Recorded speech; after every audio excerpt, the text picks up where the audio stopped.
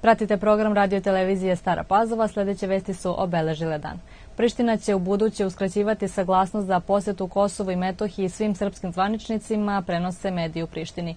Odluka je doneta, kako rekao zamenik ministra spoljnih poslova Jetljir Ziberaj, zbog navodnih pretnji koje Srbija upućuje Kosovu, stalne propagande i lažnih vesti, te zbog veštačkog stvaranja humanitarne krize na severu Kosova. Odluka Prištine je potez bez presedana i još jedan šamar ne Beogradu, već pre svega Evropskoj uniji i međunarodnoj zajednici, koja sramno ćuti na kršenje svih civilizacija civilizacijskih normi koje godinama sprovode Ramuš Haradinaj i Hašim Tači, izjavio je potpredsednik vlade Srbije i šef srpske diplomatije Ivica Dačić. Direktor Kancelarije za Kosovo i Metohiju Marko Đurić ističe da je odluka Prištine sa one strane razuma i da je direktna posledica višemesečnog ćutanja međunarodne zajednice na uvođenje taksi na srpsku robu.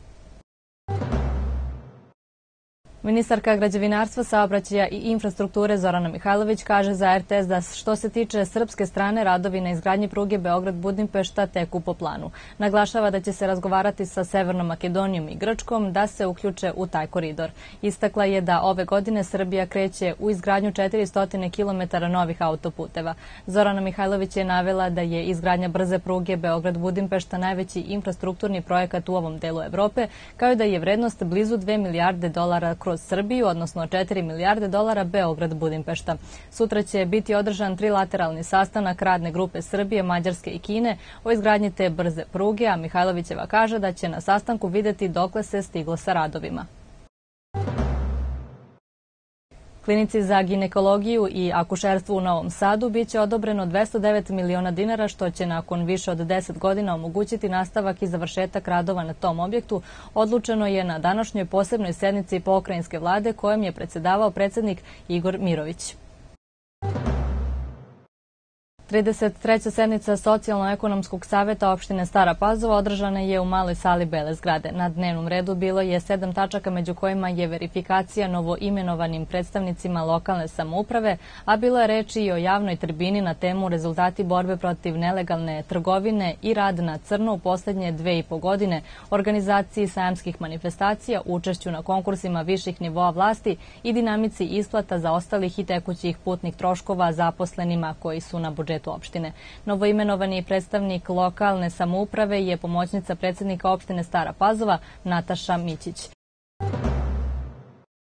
Dan borca koji se do 2001. godine u Srbiji slavio kao državni praznik koji je podsjećao na početak oružanog ustanka u Jugoslaviji u drugom svetskom ratu, u Staroj Pazovi je danas obeležen u organizaciji opštinskog odbora SPS-a i omladine opštinskog odbora SPS-a. Nakon što su položeni venci na spomeniku u centru mesta, minutom ćutanja je odana počest palim borcima, među kojima su i kako se čulo legende otpora fašizma, narodni heroji Mlada Belegišanka, Vera Miščević i Janko Čmelik, čiji se spomenik spomenik nalazi u Staropazovačkom parku.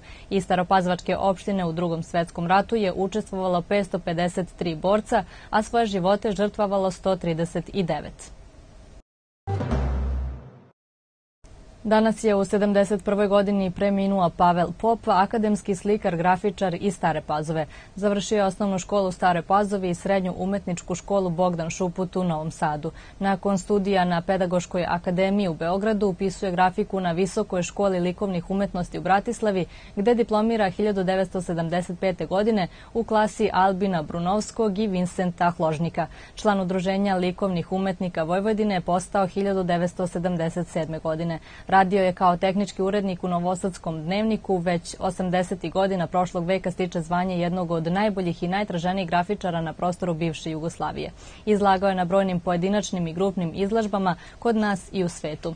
Sredinom 90-ih premašta svoj atelje iz Stare Pazove na Petrovaradinsku tvrđavu gde se pored grafike bavi i drugim vrstama, tehnikama i žanrovima slikarstva. Ilustrovao je brojne knjige, a njegovi radovi se mogu naći u značajnijim galerijama i institucijama. Njegov opus je postao neizostavni deo svih prikaza likovne scene kod nas, naročito u domenu grafike. Iza sebe je ostavio suprugu Natašu i ćerku Ana Ledu, a datum i mesto sahrane će biti naknadno saopšteni.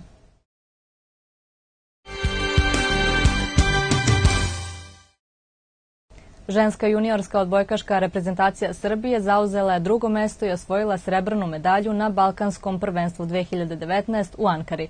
Turska je sinoć u finalu pobedila Srbiju sa 3-2 u setovima, iako su naše devojke vodile sa 2-0. Srbije je ovo sedma srebrna uz 11 zlatnih medalja na 18 odigranih Balkanijada. Treba napomenuti da je u sastavu naše reprezentacije bilo čak četiri odbojkašice koje nastupaju za jedinstvo i stare pazove. Kapiten Jovana Mirosavljević, Veronika Đokić, Miljana Gušac i Vanja Savić.